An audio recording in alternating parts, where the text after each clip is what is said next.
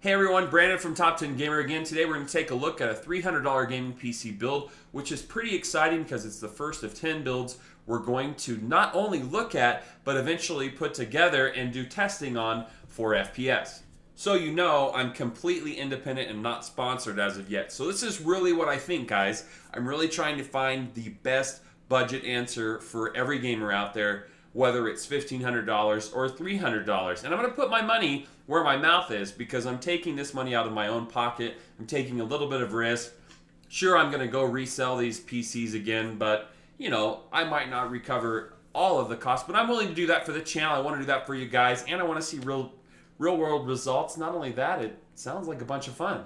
So here's how it's going to go down. After each one of these videos, I'm going to really need your feedback. Uh, I usually leave a write-up in the description below that includes this particular video where you can go vote for what you think. And I also need help in the comment description below with uh, with any feedback that you have. You can also go to facebook.com slash top 10 gamer to leave me feedback or if you're trying to build a PC like this right now and have a question. Okay, so let's jump into the first build. This build will feature an APU. Now, if you don't know what an APU is, that's just an accelerated processing unit that combines basically a dedicated graphics card with a processor. Now, these units are from AMD, and since 2011, AMD's already released four in this line.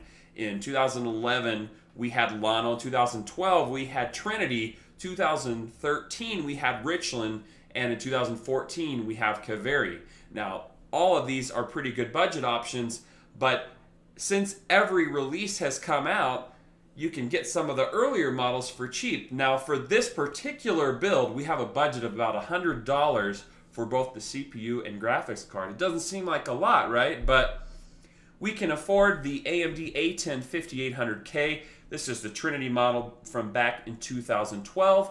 Or we can spend a little bit more money for $120. We can get the A8 7600 Kaveri model which will give us better graphics but is not quite as good of a processor. So those are your two choices for APU. Either one will allow you to play today's latest games in 1080p if you lower the settings. And you can always, if you're having trouble, you can always go to down to 720p. That's not a terrible experience as well. I have some pro gamer buddies who have awesome gaming rigs that actually play in 720p just for the crazy FPS that you can get out of them. This computer is perfect for gamers who are looking to play really popular games like Minecraft or League of Legends, Dota 2, uh, WoW, anything like that. You're going to be able to play in 1080p with full settings, and it should do a great job. Now, onto the motherboards. Now, depending on what APU you choose, you might want to change what motherboard you purchase, but I'm going to recommend you purchase an FM2 Plus motherboard because it's the most recent and they're really not that much more expensive. In fact, if you can find a rebate, you can get it just as cheap as the original motherboards, which were released for AMD's APUs. Now, how does this work? Okay, so just a quick rundown of sockets along with the APU that AMD has released. Back in 2011, we got Llano, and we were all hoping that this socket would last more than one generation. But Socket FM1 only works with Llano. Now, Socket FM2 works with 2012 and 2013's models in Trinity and Richland. And now in 2014, we have Socket FM2 Plus.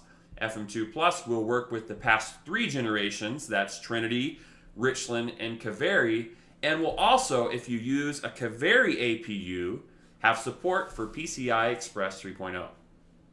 All of these reasons are why I recommend you going with an FM2 Plus motherboard. The particular motherboard I'm going to recommend for this month, it can change by the time I go to build this PC, and it can change by the time that you may build your PC here in a week or two. Now, I'm not sure exactly when we'll have this build done, but it should be within a few months. So, uh, if you want to wait out, wait it out and stick it out, you can see that. But there's also some really good benchmarks for both of the APUs that I mentioned that uh, can at least give you a pretty good idea of the FPS.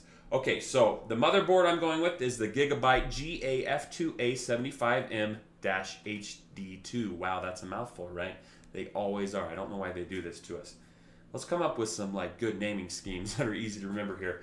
But if you go with the revision the 3.0, then you get the black version of this motherboard. If you go with like revision 1.2, you get the, in my opinion, not as aesthetically pleasing blue version of this motherboard. So look for revision 3.0. This motherboard should have everything you need in a micro ATX board, and it'll support um, it'll support the not not only the APU but uh, dual graphics mode. So see with the APU, uh, this generation of APU, if you go with a Kaveri APU, then you can also couple that with an R7 240 or 250 graphics card, run it in dual graphics mode to get additional performance. Now, of course, you wouldn't want to plan doing that out of the gate because there are better options than purchasing purchasing an APU for 100 or 120 dollars and purchasing an additional graphics card for $80. Now, you'd be much better off in that scenario buying something like the F- FX 6300 along with uh, with a dedicated graphics card. That being said, it's good to know years down the road if you're lacking in the graphics department, you can always buy the R7240 or R70 R7250 then when they're even cheaper and upgrade your uh, your computer substantially on what it can handle. Okay, for RAM, we've only got about 50 bucks for RAM, and in fact, we're going to spend 40. We're going to get the Kingston HyperX 4 gigabytes, a 1600 megahertz version. Uh, you know, it'd be nice if we could get the 8 gigabytes, as you can buy that for $70. That saves you about 10 bucks if if you can do that. You can spend $30 more on this particular build. In fact, when I actually go to build this PC, that's that may be what I do because I know everybody's looking for 8 gigabytes of RAM. But think about what this computer is meant to do. It's meant to turn the settings down on 1080p.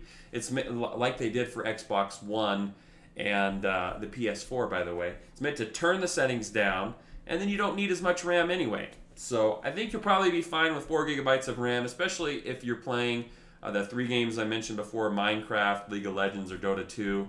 And you can always add RAM in the future if it's not enough, or maybe you even already have some RAM lying around. So we're just trying to save money here and stay within our budget.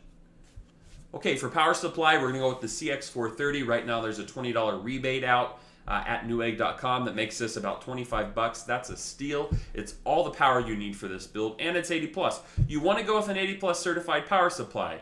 I don't care if you can find a power supply for five bucks that'll run this PC. It's not worth it because over time, the power, the extra power that your PC will consume by not being efficient is going to just make it so that you spend more money over time. And in general, uh, power supplies that are certified are just better quality overall. For case, we're going to go with a cheap two-fan micro ATX form factor case in the Rosewill FBM 01 or 02. I prefer the second generation one better as far as its looks and where the USB ports are located, but either one should be fine. These are normally $29.99, but if they go on sale, sometimes you can even find them for $19.99. Now we've got about 50 bucks left, and so I'm going to recommend you buy the Western Digital 500 gigabyte, the blue version hard drive. These are usually around $50, $55. And if you already have a hard drive lying around, then you can also consider putting this money towards an APU, a better CPU uh, graphics card combo, or whatever you want to do. But that's a real world, world example of where budgets get in the way of what you guys may already have. But of course, I can't account for all of that. Now, one other thing I want to mention here is even if you don't have a hard drive, another consideration if you're willing to manage the space on your computer, I know this is going to stretch you thin a little bit, but there's a Samsung 840 available for about $85 that you can install your OS on and still have enough room for many of your favorite games. Now, why would you do this? Well, because really it'd make the machine faster overall. And if you're willing to install and uninstall programs like we used to do in the past, then you can really have a much better machine, a faster machine, for just about the same price. Okay, that's all I have for you today. In the description area below, there's all kinds of useful links. There's the write up for this particular video. There's a link to all the parts and where you can buy them. There's links to real world FPS examples for what you can expect depending on which APU you go with. And hopefully, this helps you guys out a lot. Again, I'd love your feedback in the comment section below. Follow me at facebook.com slash top10gamer. Let's have a discussion about PC building.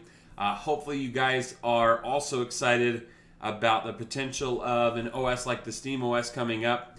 Uh, for this particular build, the $300 PC build, I'm planning to run SteamOS on it first, check and see what kind of FPS I can get out of SteamOS compatible games like Dota 2 and then run Windows 8 and see what I get in comparison. So anyway, hopefully that'll help you out. Hopefully you guys also like videos like this. If you do, you can help me out by pressing that like and subscribe button. The more subscribers that we have for the channel, the bigger and badder things that we can do. So that does help me out quite a bit. Uh, hopefully you guys will stick around for the next video and we'll see you next time.